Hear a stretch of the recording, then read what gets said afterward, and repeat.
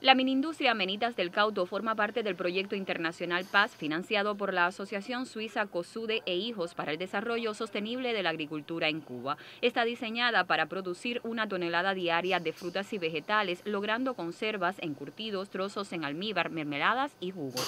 El destino de esta producción está basado fundamentalmente en los lugares de los diferentes consejos populares del territorio.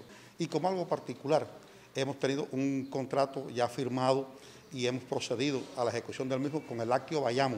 Le hemos entregado pulpa para la producción de helados y también con el centro de elaboración de aquí del, del territorio para el comercio y la gastronomía.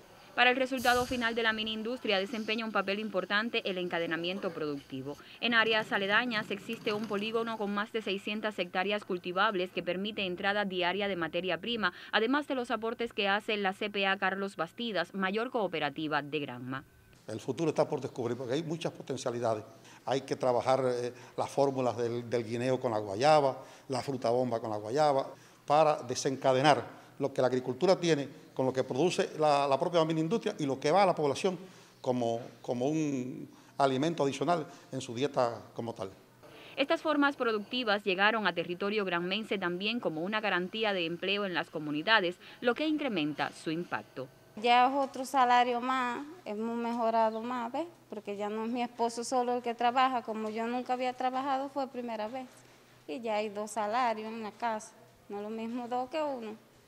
¿Te gusta lo que haces? Sí, me gusta. Granma cuenta hoy con cerca de una veintena de mini industrias que dan valor agregado a las producciones del sistema de la agricultura y garantizan diversidad de alimentos al pueblo. La Amenitas del Cauto, inaugurada en días recientes, es un ejemplo del impacto de esta idea que se generaliza en todos los municipios. En Gran Magadiusca León, Sistema Informativo de la Televisión Cubana.